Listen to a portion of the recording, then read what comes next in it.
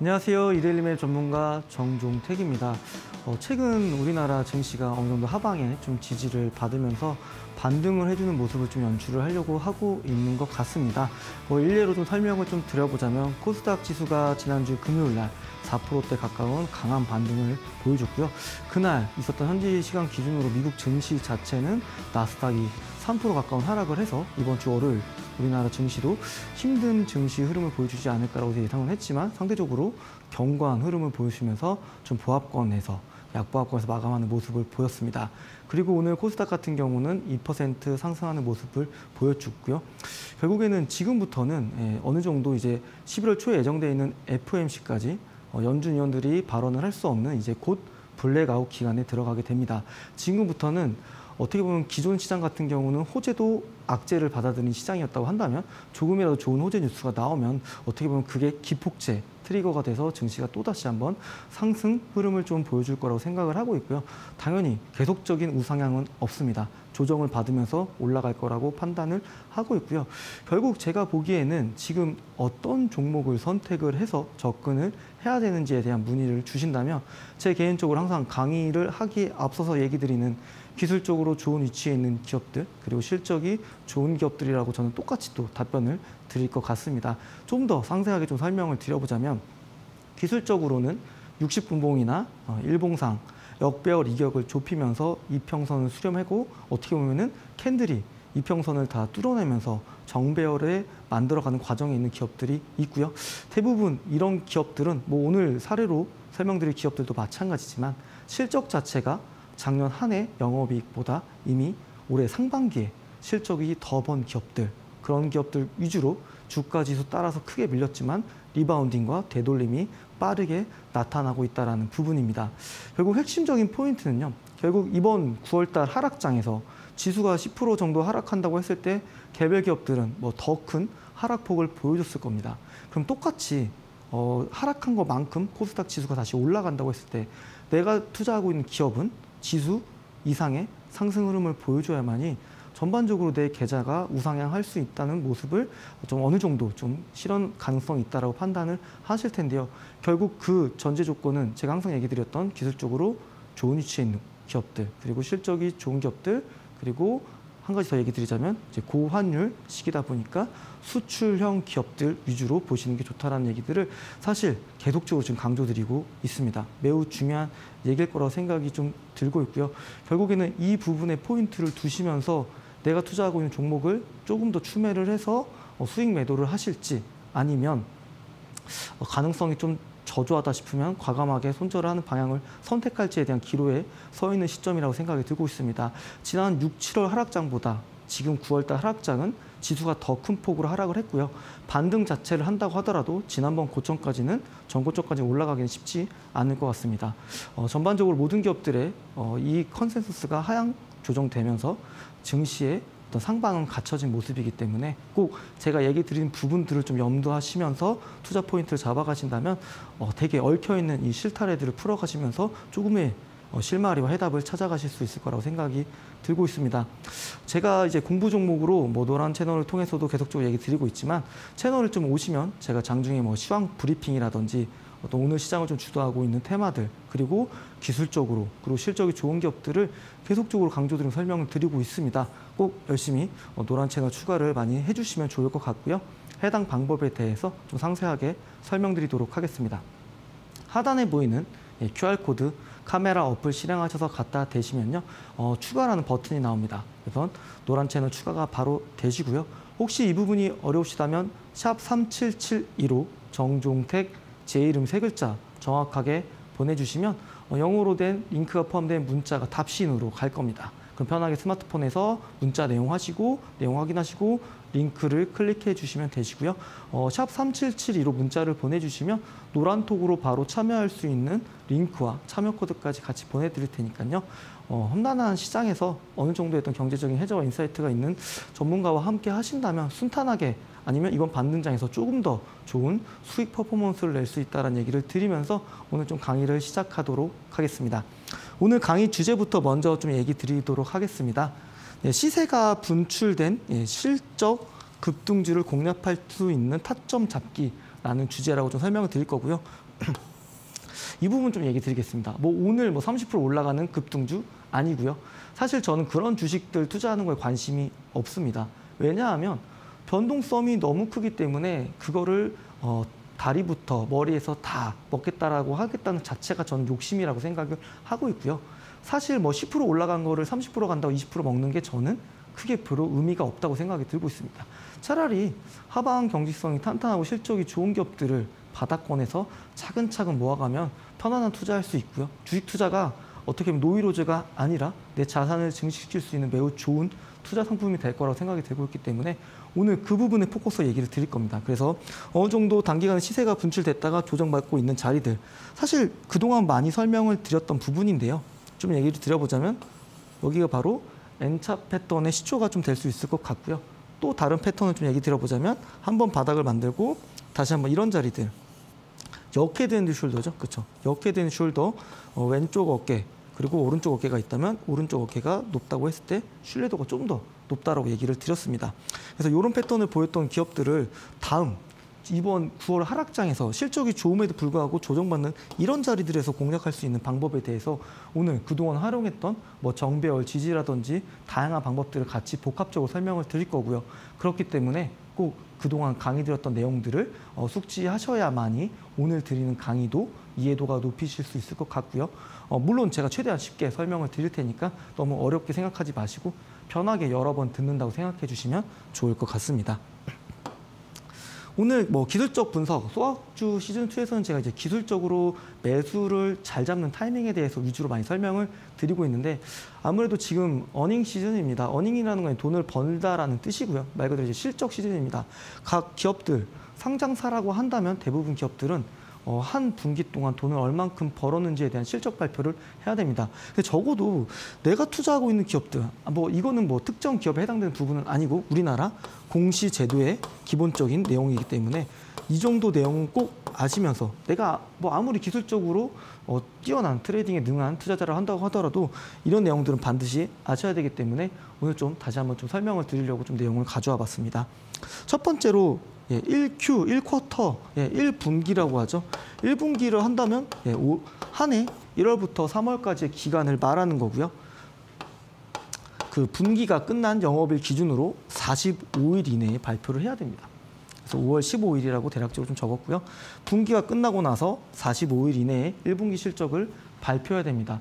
뭐 이따 또 얘기는 나오겠지만 이따 시즌이 지나면 얘기했지만 결국에는 분기 보고서를 제대로 제출하지 않을 경우에는 상장 폐지 대상 심사가 되는 기업이기 때문에 어, 그런 기업들은 사실 위험성이 높다는 부분인 거죠. 그렇기 때문에 사실 오늘 내용 자체가 왔다 갔다 하는데 매우 중요합니다. 그렇기 때문에 돈을 잘 버는 기업들에 투자를 해야 된다는 부분들이 포인트일 거고 저는 뭐 제가 단 한 번도 공부했던 종목들을 뭐 상패를 당했다거나 이런 리스크가 없었는 건 결국 저는 돈 잘 버는 기업들에 투자를 했고요.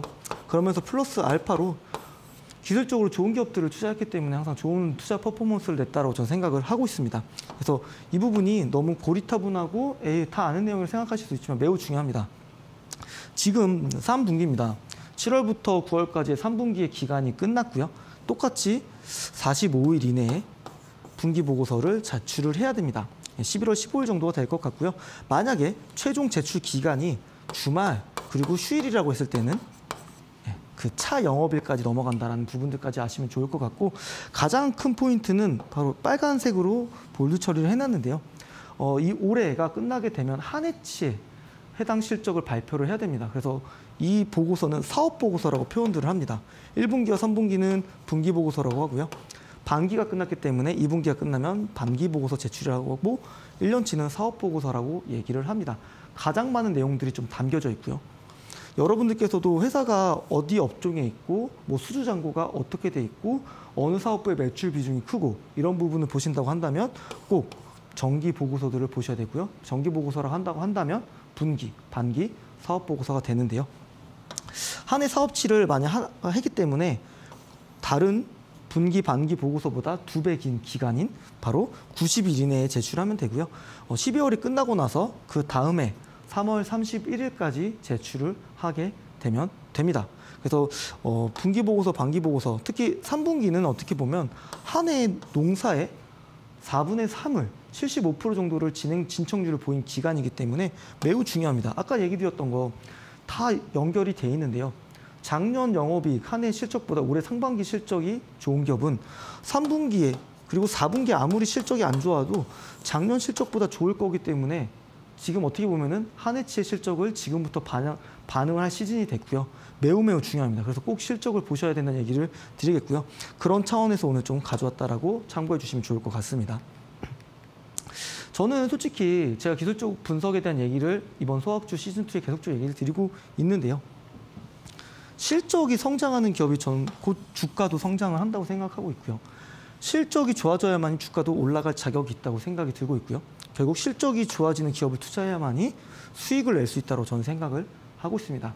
그 기술적인 테크니컬적으로 매수와 매도 타이밍 잡는 거는 기술적으로 하자는 얘기고요. 항상 얘기 드리는 이 실적을 토대로 저는 예, PER 분석, 뭐 PEG 분석들을 하고요.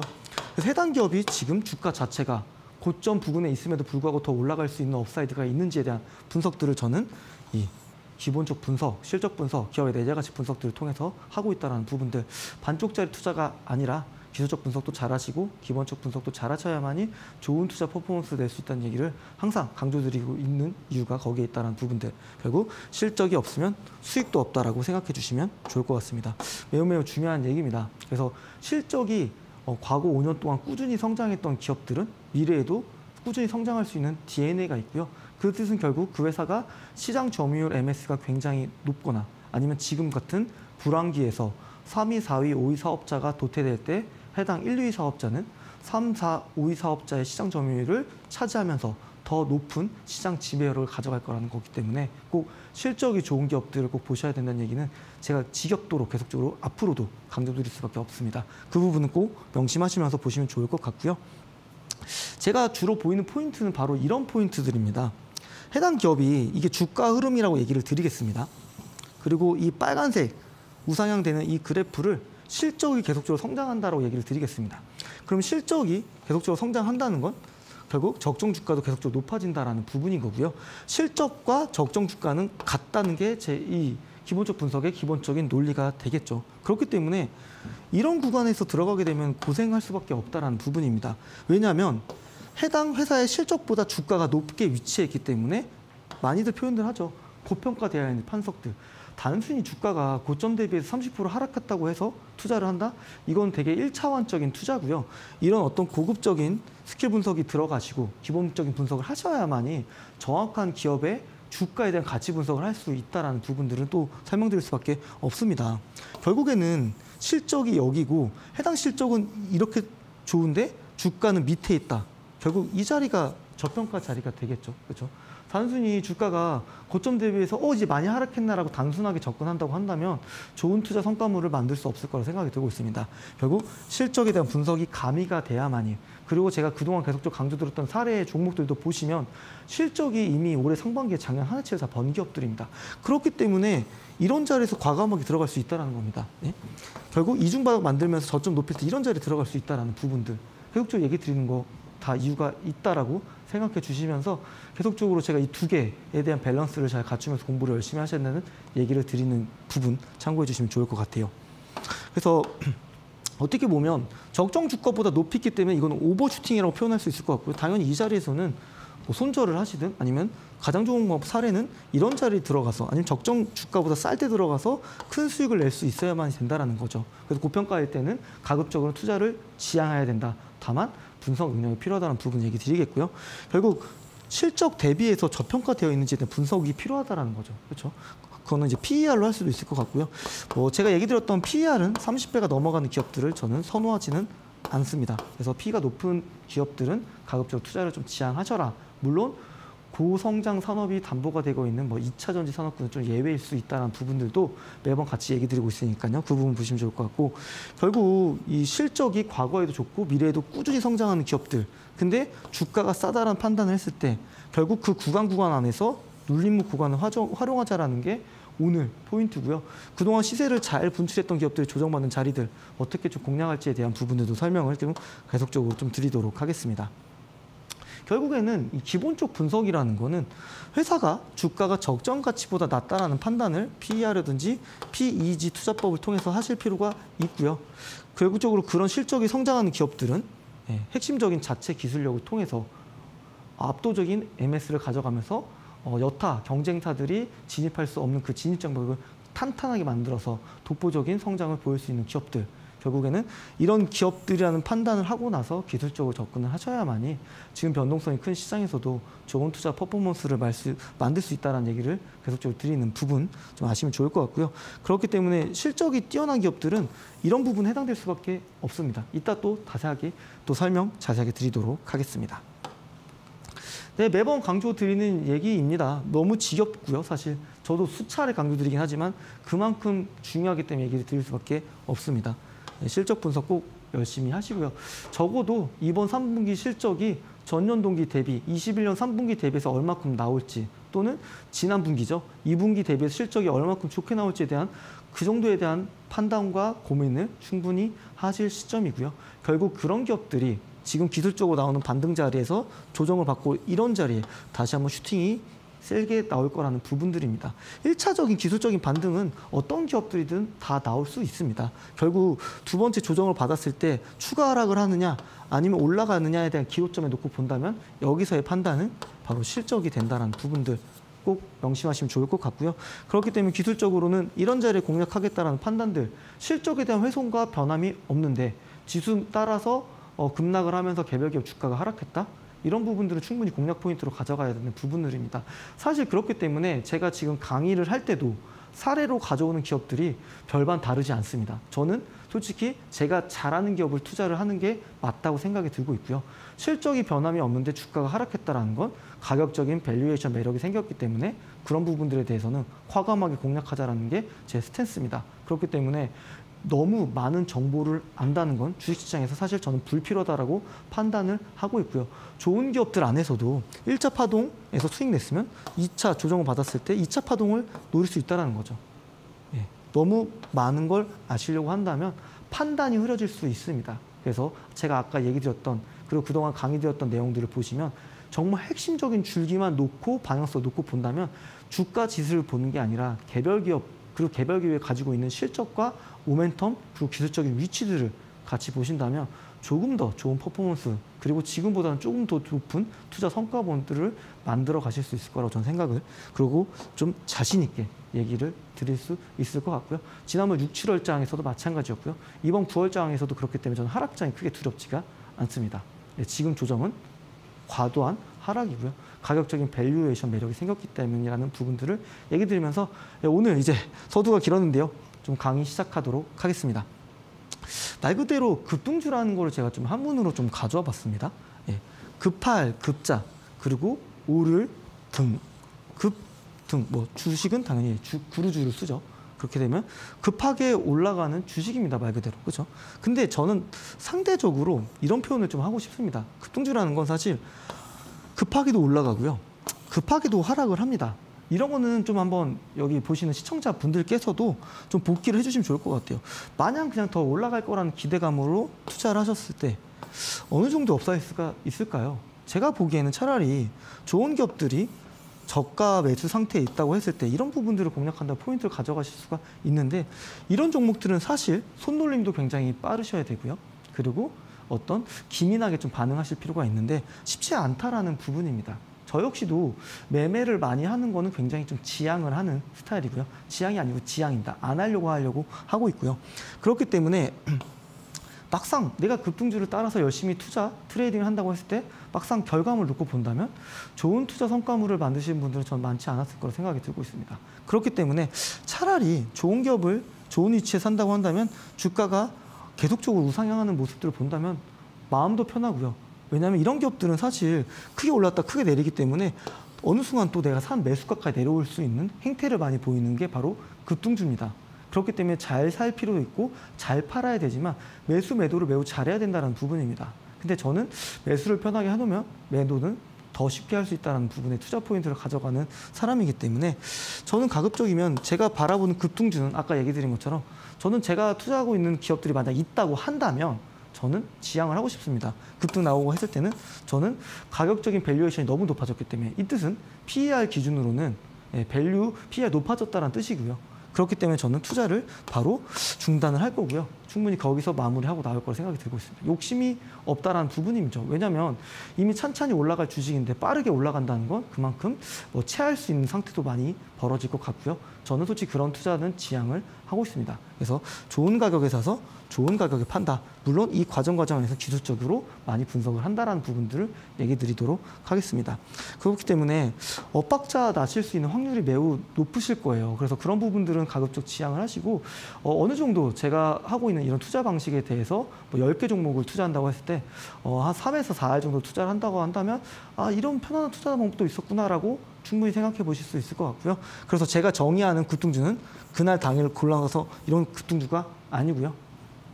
급등 최근에 우상향 시세를 분출했다가 지수 따라서 조정받는 이런 자리에 대해서 오늘 저는 공략하는 포인트를 가져가겠다는 부분들 설명을 좀 드려보도록 하겠습니다. 네. 그래서 저는 첫 번째로는 그동안 얘기 드렸던 거는 시세가 분출되기 전에 공략할 수 있는 방법에 대해 설명을 드렸어요. 그래서 그런 부분들은 논화 채널을 많이 추가해 주시면 제가 계속적으로 강의했던 자료도 예, PDF 파일로 좀 올려드리고 있고요. 장 시작 전에 브리핑한 내용도 올려드리고 있고요. 그리고 노란톡에 좀 들어오시면 관심 있게 보실 종목들 그리고 아까 얘기 드렸던 시세를 분출했다가 조정받는 기업들 공략할 수 있는 방법에 대한 자료들 그리고 공부할 수 있는 종목들까지 열심히 좀 설명을 드리고 있으니까요. 좀 많이들 참여해 주시면 좋을 것 같고요. 채널 추가하는 방법에 대해서 다시 한번 좀 설명을 상세하게 좀 드려보도록 하겠습니다. 하단에 보이는 QR코드 카메라 어플 실행하셔서 갖다 대시면 채널 추가할 수 있는 버튼이 나오기 때문에 편하게 추가 버튼만 눌러주시면 되시고요. 혹시 이 부분이 어려우시다면 샵 3772로 정종택 제 이름 세 글자 정확하게 문자 보내주시면 됩니다. 그럼 답신으로 영어로 된 링크가 포함된 문자가 갈 거고요. 스마트폰에서 클릭하시고 링크를 클릭하시면 채널 추가 버튼만 눌러주시면 채널 추가가 바로 되고요. 샵 3772로 문자를 보내주시면 노란톡으로 바로 참여할 수 있는 참여 링크와 코드까지 같이 알려드리고 있으니까요. 많은 분들께서 추가해 주시고 참여해 주시면 좋을 것 같습니다. 네, 계속적으로 좀 설명 이어드리도록 하겠습니다. 오늘 포인트는 바로 이 부분입니다. 계속적으로 우상향하던 시세를 분출해 오던 기업들이 주가를 조정받을 때 이런 자리에 어떤 포인트를 갖고 어떤 기술적인 technical 부분을 활용해서 공략할지에 대한 부분들을 오늘 설명을 드리겠습니다. 그래서 뭐 이 부분 1번 항목에 대해서도 당연히 설명을 드릴 거고요. 왜냐하면 상승 1파기 때문에 그리고 두 번째가 바로 조정을 받고 상승 2파가 나오는 구간에 대한 설명들을 오늘 드리도록 하겠습니다. 네, 첫 번째로는 사실 뭐 그동안 설명드린 것들이 너무 많은데요. 뭐 거래량도 있었을 것 같고요. 거래량 실렸으면 당연히 매집봉 나왔던 자리들에 대해서 공략 포인트를 가졌을 수 있는 부분들. 아까 조금 전에 얘기 드렸던 바로 예, 이 부분이 되겠죠. 그렇죠? 그리고 두 번째는 급등 후 정배열에서 지지를 받는다. 이 뜻은 사실 정배열이 단기 이평선이 예, 중기 이평선의 지지를 받는다라는 포인트를 이렇게 좀 설명을 드려봤어요. 조금 더 좀 그림으로 좀 그려보자면 바로 이런 부분들이 되겠습니다. 뭐 단기 이평선 그리고 중기 이평선, 장기 이평선이 이런 정배열 상태에 있다고 했을 때 첫 번째 공략 포인트는 바로 이 부분이 될 겁니다. 바로 뭐 20일 이평선, 예, 60일 이평선, 뭐 1년 이평선이라고 설명을 좀 드려볼게요. 그런다고 했을 때 20일 이평선이 내려오면서 지지를 받는다? 첫 번째 공략 포인트가 될 것 같아요. 근데 혹시 지수의 어떤 바닥이 확인하기 어렵기 때문에 두 번째 공략 포인트는 이 부분까지에 대한 내가 어, 추가 매수를 하겠다는 전략을 세운다는 거죠. 근데 여기까지 만약 이탈을 어, 더 추가적 이탈을 한다? 이때부터는 심각하게 좀 고민을 해볼 필요가 있다라는 부분인 거죠. 그래서 이 부분을 잡고 아니면 여기가 1차 공략 포인트가 되겠고요. 아니면 여기가 2차 포인트고 2차 이제 손절가가 되겠고요. 만약에 내려갔다 다시 올라오고 여기를 안착한다고 했을 때 그렇죠?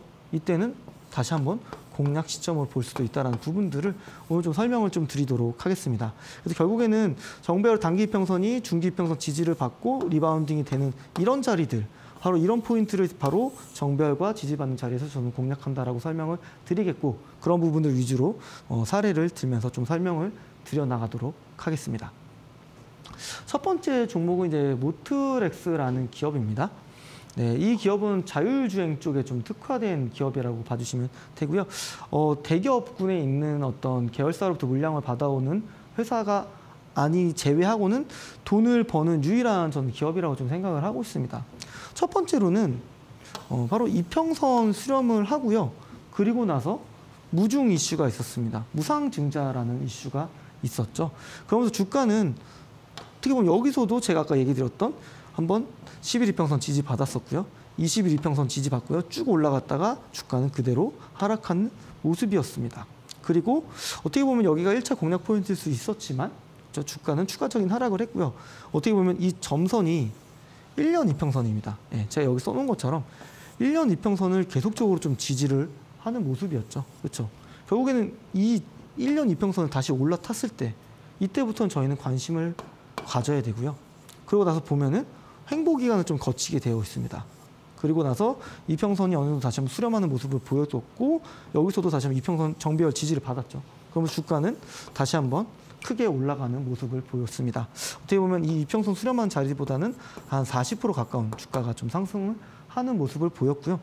오늘 여기 포인트를 좀 볼까요? 이 노란 선이 60일 이평선인데요. 지지를 두 번 받았습니다.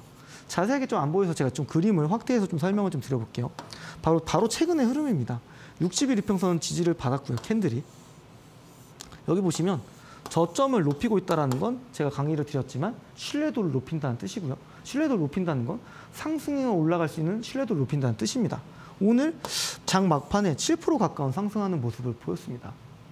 어떻게 보면 이런 자리들, 그렇죠? 아니면 이런 자리들 충분히 공략할 수 있는 포인트가 되는 자리들이고요. 아까 제가 얘기 드린 것처럼 큰 시세를 분출했다가 조정받았을 때 실적이 좋은 기업들은 쉽게 주가가 하락하지 않고 하방 경직성이 가당하다는 얘기를 계속적으로 강조를 드리고 있습니다.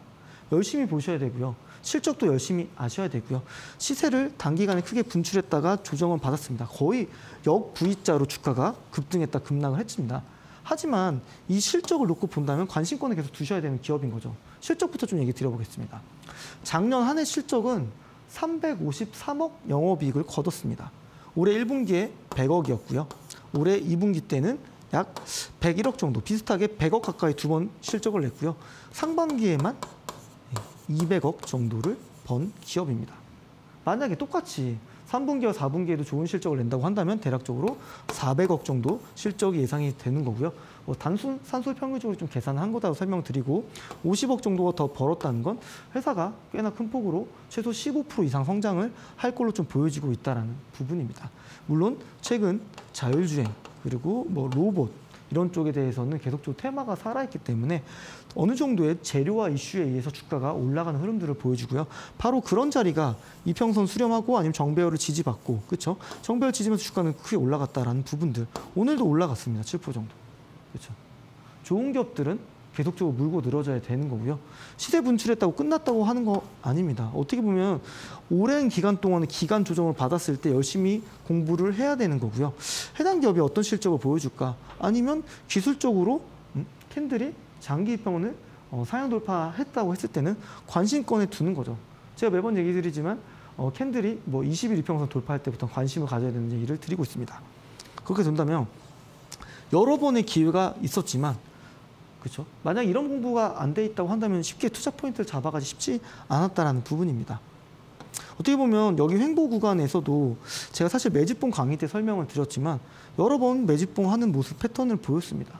그리고 주가는 횡보했지만 궁극적으로는 제로 테마와 엮이면서 주가는 강하게 강하게 반등해주는 모습을 보였고요. 최근에 거래량도 실렸고 거래량을 줄면서 61이평선 지지받고 다시 한번 상승의 흐름이 나왔다는 것까지 설명을 좀 드릴 수 있을 것 같습니다. 제가 사실 이 부분은 제가 소학주 시즌 1 때 강의는 드렸는데 너무너무 중요한 내용이기 때문에 다시 한번 오늘 복귀 한번 드릴 텐데요. 회사에 현금이 많다라는 부분은 다시 한번 좀 설명드리겠습니다. 회사 현금에 현금이 많다라는 건 돈을 잘 버는 기업이기 때문에 회사, 회사 곳간에 이제 돈이 많은 거고요. 그런 기업들이 유리한 거. 왜 그 현금 흐름들을 많이 볼까요? 투자를 할 때. 바로 첫 번째, 공장 증설을 할 수 있다라는 겁니다.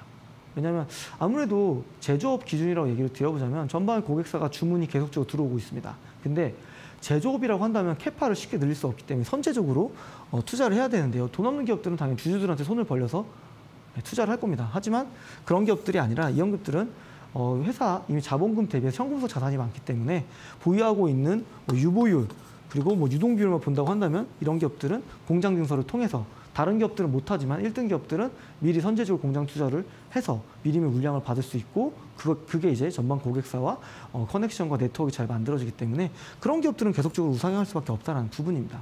그런 과정에서 첨단 시설도 같이 도입하고요. 이런 첨단 시설 도입한다는 건 비용에 대한 절감 효과들도 충분히 같이 고려해 보실 필요가 있다는 거. 그리고 두 번째 포인트는 새로운 신규 사업 진출을 할 수 있다는 겁니다. 돈이 많기 때문에 어, 자기가 하고 있는 본업 플러스 확장시킬 수 있는 신사업을 어, 진출하면서 뭐 M&A라든지 그렇죠 지분 투자를 한다든지 다양한 방식이 있을 것 같고요. 다만 그걸 하기 위해서는 현금이 많아야 된다는 부분을 보시면 될 것 같고 결국 그 뜻은 새로운 먹거리와 기회를 창출할 수 있는 기회가 된다는 부분들 이 부분 또한 결국에는 불황기회 이런 기업들은 기회로 삼아서 실적을 더 고속 성장하고요. 이 뜻은 아까 제가 얘기 드린 것처럼 실적이 성장한다는 건 바로 주가가 성장한다는 뜻 같이 해석해서 연속성사 놓고 보신다면 매우 어, 훌륭한 좀 투자 학습이 되시지 않으셨을까 좀 얘기를 드리겠습니다. 그리고 이 현금이 많기 때문에 주주들한테 손을 벌릴 필요가 없습니다. 아, 저희가 전망 고객사 주문이 많이 들어오는데 돈이 없어요, 주주님들. 돈 좀 빌려주세요. 이런 거 안 하는 기업들이 바로 실적이 좋은 기업들. 그런 기업들은 괜히 주가가 잘 가다가 이런 것 때문에 주가가 훼손돼 가지고 안 가는 케이스가 많습니다. 근데 이런 기업들은 그런 어떤 어떤 부침이 없기 때문에 주가가 꾸준히 올라갈 수 있을 것 같고요. 물론 지수가 이미 작년 고점 대비해서 많이 큰 폭을 하락을 했기 때문에 어느 정도의 감안할 필요는 있겠지만 rebounding이 빨리 나올 수 있는 기업들도 결국 그런 기업들이고요. 결국 제가 계속 얘기 드리는 부분이 여기 있네요. 경기 침체 국면에서 시장 지배력과 경쟁력 강화를 통해서 압도적인 1위 성장 지배력을 가져간다는 부분들. 그래서 현금 많은 기업들은 돈 잘 버는 기업들이고요. 돈 잘 버는 기업들은 주당 순이익이 높아지고요. 주당 순이익이 높다는 건 어, 주가가 높아질 수 있고 실적 성장을 한다는 뜻이기 때문에 이런 부분들은 오늘 되게 중요하기 때문에 또 실적 시즌이기 때문에 또 다시 한번 좀 얘기를 드려보았습니다. 매우 중요합니다. 어느 한쪽에 대한 투자를 한다는 건 매우 치우친 투자고요. 주식시장 자체가 매우 어, 정보 비대칭성이 높은 불균형 운동장입니다. 그렇기 때문에 이 두 개에 대한 공부를 열심히 하셔야만 좋은 투자 퍼포먼스를 낼 수 있을 것 같고요. 꼭 이런 부분을 같이 오셔서 함께 하시면 좋을 것 같은데요. 그 부분 좀 설명드리도록 하겠습니다. 채널 추가 많이 해주시면 좋을 것 같고요. 그 안에 있는 컨텐츠들은 제가 열심히 노력하고 제작해서 만들어서 제공하고 있기 때문에 분명 뼈와 살이 되는 전 자료들이라고 생각을 하고 있습니다. 채널 추가하는 방법에 대해 설명드리도록 하겠습니다. 카메라 어플 실행하셔서 하단에 보이는 QR코드 갖다 대시면요. 어, 채널 추가할 수 있는 버튼 바로 나오고요. 추가 버튼만 눌러주시면 됩니다. 혹시 이 부분이 어려우시다면 샵 3772로 정종택 제 이름 세 글자 정확하게 문자 보내주시면 영어로 된 링크가 포함된 문자가 답신으로 갈 겁니다. 거기 안에 있는 링크 클릭하시면 채널 추가하시면 되시고요. 샵 3772로 또 문자 보내주시면 노란톡으로 바로 direct로 들어올 수 있는 링크와 참여 코드 번호까지 알려드릴 테니까요. 많이들 참여해 주시고 적극적으로 추가해 주시면 좋을 것 같습니다. 네, 첫 번째 이제 모트렉스 얘기 드리면서 그럼 구체적으로 좀 어떻게 좀 접근하는지에 대해서 좀 technical 부분에 대한 설명 좀 들어보도록 하겠습니다. 첫 번째로는 원하는 가격대까지 좀 기다려야 된다는 얘기를 좀 드리고 싶습니다. 너무 좀 조바심이 나기도 하고요. 하지만 생각해 보면 그 조바심이 투자의 포인트를 놓칠 수 있다고 생각이 들고 있습니다. 결국에는 1차적으로 이런 포인트들, 이런 포인트들을 충분히 공략할 수 있을 것 같고요. 혹여나 내가 길게 본다고 했을 때 뭐 여기 1차 매수, 2차 매수를 한다고 한다면 좋은 평단이 여기서 만들어졌을 것 같고요. 그 평단가 위주상에서 주가가 한번 올라갔고 지금도 다시 한번 이 평단 부분까지 내려왔지만 주가가 올라갈 수 있다는 거. 그렇기 때문에 유리한 가격에서 내가 진입한다라는 건 주식시장에서 매우 매우 중요합니다. 단 1%라도 더 좋은 수익 내기 위해서는 내가 원하는 가격이 올 때까지는 기다리는 게 매우 중요한 포인트라는 부분들 또 얘기를 드리겠고요. 두 번째 포인트는 조금 전에 설명드렸죠. 여러 번 나와서 사시는 게 좋을 것 같습니다. 제가 생각하기로는 어, 물타기는 하지 마세요라는 부분들에 대한 얘기들을 많이 들으셨을 텐데요.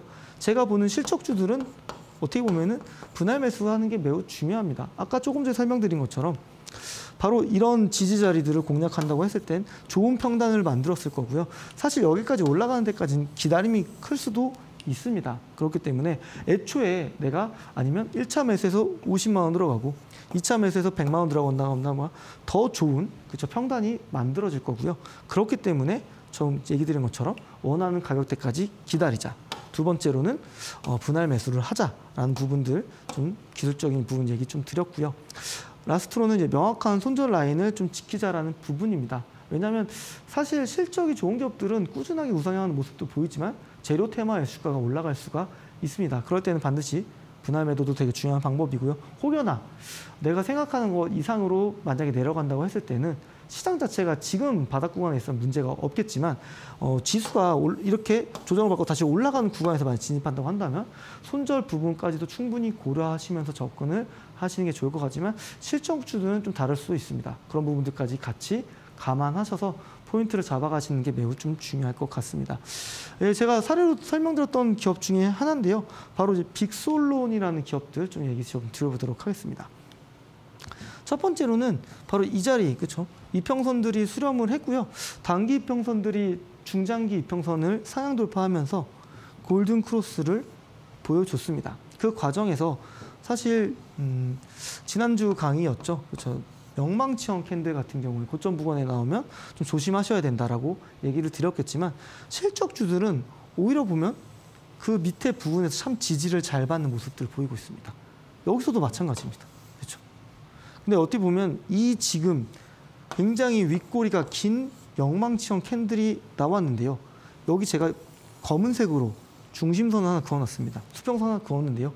이 가격을 지지받으면서 주가는 그대로 올라가는 흐름들을 좀 보였다는 부분들입니다. 그렇죠? 실적이 좋기 때문에 하방 경직성이 강하다는 얘기를 계속 얘기 드리지만 실전 사례도 지금 계속 좀 설명을 드리고 있는 부분입니다.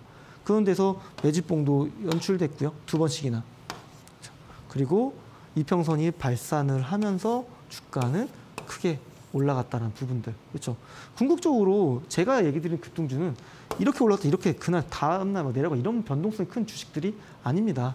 이렇게 꾸준하게 우상향하던 시세를 분출했던 종목들이 지수 따라서 내려갔을 때 이런 자리들이 바로 충분히 좋은 공략 포인트라는 거죠. 그렇죠. 지수는 사실 지난주 금요일 그리고 이번 주 월화 좋은 흐름들을 보였고요. 오늘 추가적으로 또 3, 4% 가까운 상승하는 흐름들을 보여줬습니다. 바로 보면 이 부분들이 다시금 저희가 보면 정배열이 단기 이평선이 중기 지평선 지지를 받으면서 다시 한번 올라갈 준비를 하고 있지 않을까라는 얘기를 좀 드리겠고요. 실적 좀 보도록 하겠습니다. 작년 한 해 영업이익이 140억이었고요. 올해 상반기 영업이익이 161억입니다. 이 회사가 하반기에 적자만 거두지 않는다면 이 회사는 올해 이미 실적 성장을 따놓은 당상 기업이라는 거죠. 그렇죠? 그래서 여러분들께서는 제가 보시는 제가 보는 이 실적 주들 그리고 기술적으로 좋은 기업들을 왜 투자를 해야 되는지 부분들 얘기 드리고 싶습니다. 매일매일 주가가 움직이는 거에 대한 스트레스를 받으면서 주가 주식 투자를 하신다는 건 쉬운 일이 아닙니다.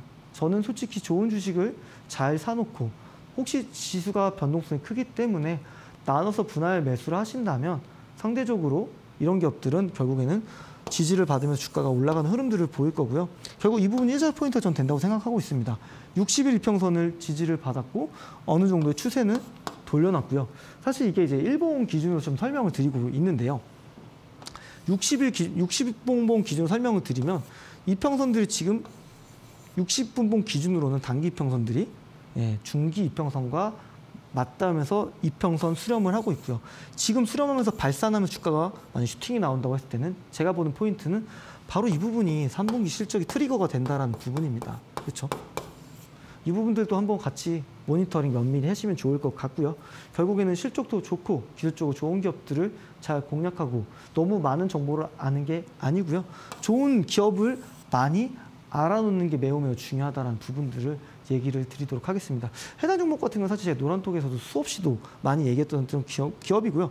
사실 저는 뭐, 뭐 이렇게 오늘 사서 뭐 내일 급등한 종목들은 잘 모르겠습니다.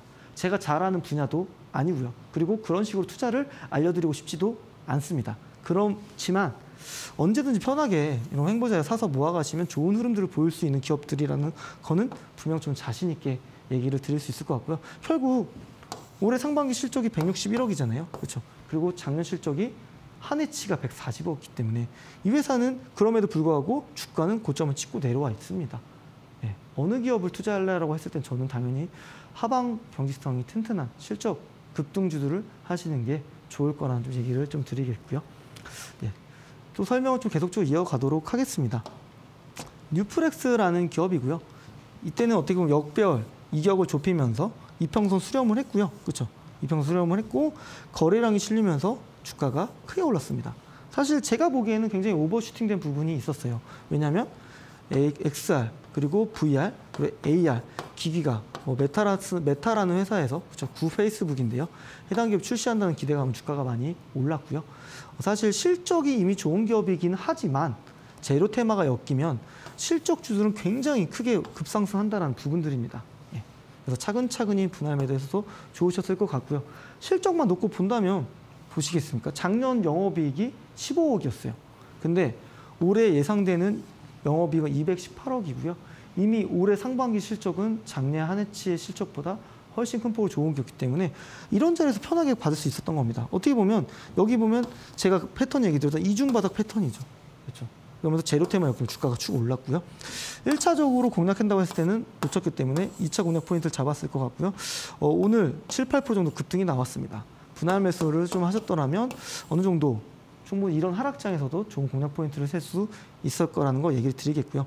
결국에는 이 실적이라는 걸 토대로 해당 분석을 통하고 기술적으로 테크닉적으로 좋은 기업들을 접근하는 방법들까지 어, 이런 부분들이 정말 숙달이 되고 이런 부분들을 만들어 가신다면 좋은 투자 퍼포먼스 그리고 주가 지수가 하락하고 개별 기업 주가 하락한다고 하더라도 이런 기업들은 rebounding 되돌림이 빠르게 나온다는 부분들을 또 얘기 드리면서 설명 좀 드려보도록 하겠습니다. 그리고 이제 한창 산업이라는 기업이고요. 사실 이 기업은 제가 잘 최근 들어서 좀 알게 된 종목인데요. 음, 보시면 작년 한 해 영업이익부터 실적부터 먼저 얘기 드릴게요. 작년에 32억이었습니다. 근데 올해 1분기 때 3억이었고요. 2분기 때는 25억. 그래서 총 28억을 상반기에 벌었습니다. 그러면서 주가가 툭툭 올라가는 모습인데요. 이 부분은 당연히 이제 뭐 러시아 뭐 핵 버튼을 누르니 만에 뭐 이런 얘기들이 나오면서 방사능 제거할 수 있는 효능님 원재료를 만드는 기업이다 보니까 주가가 올라갔습니다. 뭐 어느 시기든 어떤 방식이든 주가가 올라간다는 건 주식 투자한다는 게 좋은 의미인 거잖아요. 근데 어떻게 보시면 역배열 이격을 좁히면서 한번 슈팅이 나왔었고요. 이때 거래량도 실렸습니다. 그러다가 횡보와 기간 조정을 오랫동안 거쳤고요.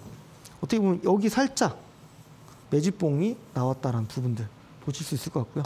예, 여기 바로 이 횡보 기간에 아까 제가 얘기 드렸던 이 매집봉 그렇죠? 역망치형 candle이 나오면서 주가는 이평선 수렴하고 여기에 십자 candle과 망치형 candle이 나왔습니다.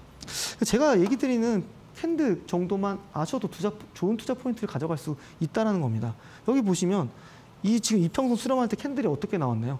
바닥권, 횡보 구간에 있을 때 망치형 candle이 나왔고요. 그리고 십자 candle이 나오면서 주가는 좀 좋은 흐름들을 좀 보였다는 거 얘기 드리겠습니다. 그리고 다시 한번 조정을 받았고요. 오늘도 한 3, 4% 올라가는 흐름들을 보였습니다. 어떻게 보면 시세가 단기간에 분출됐기 때문에 어떻게 보면 요거에 대한 조금 더 팁을 드려보자면 그렇죠. 장기 이평선 지지를 받을 때 접근하는 게 좋지 않았어, 않았을까라는 얘기 드리겠고요. 이런 부분에 대한 투자 팁 계속적으로 제가 얘기 드릴 테니까요. 노란 채널 그리고 노란 톡에 적극적으로 많이 참여해 주시면 좋을 것 같습니다. 그래서 결국에는 제가 얘기 드렸던 이런 1차적인 시세들은 네, 매집봉을 통해서 한번 거둘 수 있을 것 같고요. 이미 몇 차례 투자 수익 기회를 줄 수 있었던 종목입니다. 뭐 여, 제가 여러 종목을 투자하시라는 게 아니고요. 그 매일매일 있는 뉴스를 보면서 그거에 대한 근거도 없고 실적도 안 받쳐준 기업들 투자하시는 게 아니라 차라리 이런 기업들을 잘 차곡차곡 모아가면서 어 이제 실적 급등주를 하시는 게 좋지 않을까. 그러면서 기술적인 분석에 대한 얘기도 계속적으로 드리고 있습니다. 결국에는 매우 매우 중요합니다. 제가 사례로 설명드리는 기업들 뭐 단순히 일차적으로 끝날 사이클을 보여줄 기업들이라고 생각하고 있지는 않습니다. 그래서 이런 기업들 저는 계속적으로 끝까지 물어지면서 조정이 줄 때 충분히 공, 적극적으로 공략할 수 있는 포인트를 가져갈 텐데요. 이런 실적 급등주에 대해서도 계속적으로 제가 설명드릴 테니까요. 노란 채널 좀 추가하는 방법에 대해서 좀 다시 한번 설명드리도록 하겠습니다.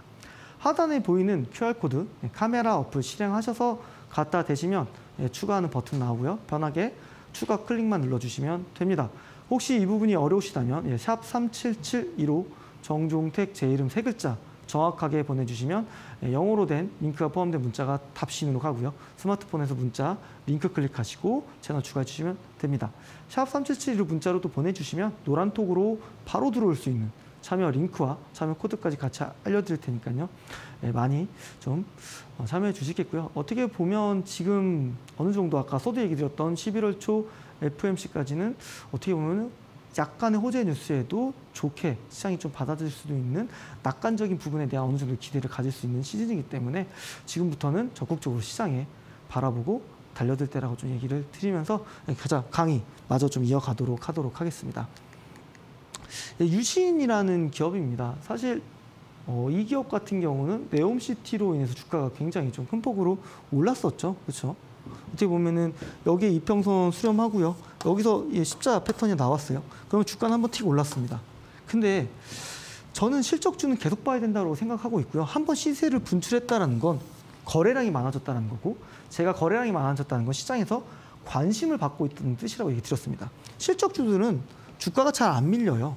그렇죠? 행보에서 기간 조정을 또 받았고요. 여기에 매집봉을 만들었습니다. 굉장히 좋은 포인트가 됐겠죠. 어떻게 보면 에이 시세 분출했다가 조정을 받았기 때문에 추가 하락할 수 있겠나라는 우려감은 실적주가 아니기 때문이라고 저는 설명을 드리겠고요. 실적이 좋은 기업들은 바로 이런 매집봉을 만들면서 조금의 이 매집봉의 어떤 시가 또는 종가를 지지를 받거나 아니면 살짝 이탈해서 다시 올라온다고 했을 때는 다시금 주가가 슈팅하는 모습들을 많이 보여주고 있다는 부분들입니다. 과연 유신이라는 기업이 네옴시티 건설 관련 테마주였을까요? 저는 솔직히 그렇게 판단하고 있지는 않습니다. 왜냐하면 이 회사의 작년 영업이익은 80억이었고요. 그리고 올해 1분기와 2분기의 실적만 합치더라도 영업이익은 93억으로 이미 작년 한 해 실적을 뛰어넘었습니다. 그렇죠. 근데 재료 테마가 너무 엮이면서 주가는 급등하는 모습이었어요. 그리고 주가가 단기간에 올랐기 때문에 제가 아까 얘기 드렸던 최소 60일이나 122평선 지지를 받을 때 공략 포인트를 받는 거고요. 바로 이번 슈팅은 60일 이평선 지지를 받으면 주가가 올라갔다라는 부분들. 그렇죠? 그리고 예, 주가가 한번 어, 월요일 날 좀 주가 흐름이 좋았었죠. 그렇죠. 오늘은 물론 낙폭이 컸었습니다. 근데 그럼에도 불구하고 시적주들은 어, 지지를 받으면서 많이 올라간다라는 부분들 계속 얘기 드릴 수밖에 없습니다. 그러면서 거래량도 많이 실렸고요. 골든 크로스가 나왔습니다. 결국에는 내가 좋은 투자를 한다는 건 결국 좋은 기업을 산다는 거고요. 좋은 기업을 잘 사는 거는 기술적 분석에 대한 포인트들. 그래서 오늘 시세가 분출된 기업들 조정을 받는 자리에서 공략을 잘 하자. 예. 뭐 오늘 내일 그 뭐 이렇게 끝없이 올라가는 기업들을 얘기하는 게 아니고요. 어, 그동안 계속적으로 좋은 시세와 우상향하는 모습들을 보여줬던 기업들이 조정을 받을 때 공략한다고 한다면 사실 그동안 강해되었던 부분들과 굉장히 많이 일맥상통하고요. 차라리 이런 편안한 자리에서 공략을 하신다면 좋은 포인트. 아까 제가 뭐라고 얘기 드렸죠? 분할 매수. 그렇죠? 그리고 실적 확인하시면서 접근하시면 좋은 투자 성과물들을 만들어 가실 수 있을 거라고 얘기 드리도록 하겠습니다. 네, 드림텍이라는 기업이고요. 드림텍이라는 기업 또한 여기 보시면 횡보 기간 동안에 매집봉이 한 번 나왔습니다. 살짝 몸통이 큰 명망청 매집봉이 나왔고요. 결국 이평선이 골든 크로스를 만들고 정배열을 만드는 과정에서 주가는 계속적으로 올라갔습니다. 또 단기간 좀 시세가 분출됐기 때문에 조정도 컸죠. 다시 또 올랐다가 또 조정을 받는데요. 어떤 패턴인가요? 저점을 높이는 이중 바닥 패턴을 만들고 있습니다. 오늘도 주가 마감은 잘했고요. 사실 모르겠습니다. 이 전 고점을 넘길 수 있는 힘은 결국 저는 3분기 실적에 좀 달려 있다고 보고 있고요. 결국 이 기업이 전고점까지 올라갈 수 있는지에 대한 모멘텀이 실적인지에 대한 판단들을 이번 어닝 시즌에서 판단하시고 모니터링 하시면서 어, 확인해 주시면 좋을 것 같습니다. 네, 계속적으로 좀 얘기 좀 드려보도록 하겠습니다. 네, 나무가라는 기업도 마찬가지입니다. 예, 역별 만들면서 이격을 좁혔고요. 예, 수렴하면서 골든크로스 나오고 주가는 크게 올랐습니다. 다시금 그렇죠? 이 바닥권에서 십자 캔들 나왔고요. 그리고 예, 121평선 지지를 받고 주가는 올랐습니다. 어떻게 보면 지수가 큰 폭으로 하락했기 때문에 60일, 120일 이평선 지지받는 자리들의 실적주들을 공략하겠다는 포인트들이 매우 중요했을 것 같아요. 이런 종목들을 잘 찾아보시는 게 매우 매우 중요할 겁니다. 오늘도 주가 흐름은 굉장히 좀 좋았고요. 지수 대비해서 지수는 하락하지만 해당 회사는 주가가 계속 올라가고 있다는 부분들 보시면 좋을 것 같습니다. 결국에는 오늘 포인트 또한 제가 실적의 무게중심을 놓고 얘기를 또 드렸습니다. 결국에는 달리는 말에 타는 것도 좋을 수는 있겠지만 변동성이 매우 매우 크기 때문에 조정받는 자리들 시세가 분출했던 종목들이 조정 나오는 자리에서 공략하자는 얘기들 드리겠고요. 다시 한번 채널 추가하는 방법을 설명드리도록 하겠습니다. 하단에 보이는 QR코드 카메라 어플 실행하셔서 갖다 대시면 채널 추가할 수 있는 버튼 나와서 클릭만 해주시면 되시고요. 혹시 이 부분이 어려우시다면 샵 3772로 정종택 제 이름 세 글자 정확하게 보내주시면 어, 링크가 갑니다. 링크 클릭하셔서 채널 추가하시면 되시고요. 혹시 어, 샵 3772로 문자를 많이 보내주시면 제가 바로 노란톡으로 들어올 수 있는 링크와 참여 코드까지 보내드릴 테니까요. 많은 분들께서 어, 함께 해주시길 바라겠습니다. 결국에는 지수도 잘 봐야 되고요. 특히 지수보단 기업들 그리고 실적, 기술적 위치들 열심히 보시면서 공부하시고요. 저랑 같이 공부 많이 해 나가시길 바라겠습니다. 감사합니다.